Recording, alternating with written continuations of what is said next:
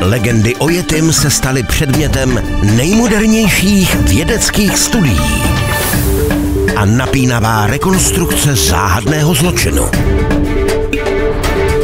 Na stopě Jetimu a vražedná zbraň Samostříl. V pátek večer na CS Mystery.